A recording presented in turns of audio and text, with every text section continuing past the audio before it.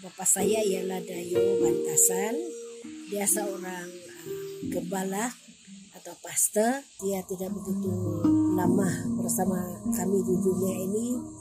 Dia dipanggil Tuhan selepas uh, 4 atau 5 tahun. Apa saja dia penyayang, tetapi dia seorang bapak yang tegas, suka bercerita, cerita yang uh, ada pengajaran moral, suka dengan kerjaan dia atau pelayanan dia sebagai seorang gembala atau pastor ada di gereja masa bertugas atau di jemaat-jemaat terutama berkaitan dengan uh, asas kepercayaan. Dan juga ya saya pernah di rotan dia rotan untuk disiplin kami dia rotan dengan uh, penuh uh, penjelasan kenapa kami di rotan ya, kalau kami buat kesalahan dan kami sangat sadar kami buat salah dan akan di rotan dia tidak akan menunjukkan kemarahan dia sebelum kami makan. Dia kasih dia layan kami masuk mandi kami makan. Dia layan kami baik-baik mau mengucapkan juga selamat hari Bapak kepada Bapak saya yang berada di surga dan juga kepada Bapak-Bapak di dunia ini di mana pun berada. Kami sangat menghargai kamu dan merindui. Anak saya keluarga saya pun saya eh, mau supaya kita pegang erat uh, janji Tuhan dan setia kepada Tuhan. Terima kasih untuk kesempatan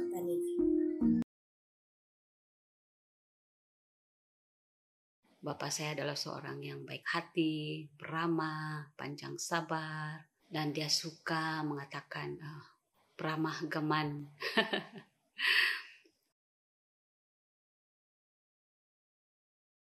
Saya suka tolong bapak saya di kampung, memasak, mengemas rumah, cari duit. Nah, itu kesukaan pertama saya. Saya tidak suka meminta bapak saya, tetapi saya suka um, memberkati bapak saya dari segi keuangan. Saya suka menyenangkan hati dia. Saya uh, akan jaga hati bapak supaya dia tidak berkata dengan uh, perkataan yang tidak baik. Pastikan hati dia atau amarah dia tetap tenang dan saya coba menggembirakan bapak saya.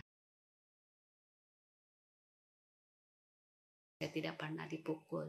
Saya sangat-sangat bersyukur karena mempunyai bapak seperti dia. Orang lain mengalami pukulan rotan, tapi saya tidak pernah. Tangan pun tidak pernah. Bahwa saya sangat berutang budi dengan bapak saya. Saya tidak dapat balas kebaikan bapak saya. Saya sangat uh, merasa bernasib baik lah masa itu. Tapi itu adalah semua karena anugerah Tuhan.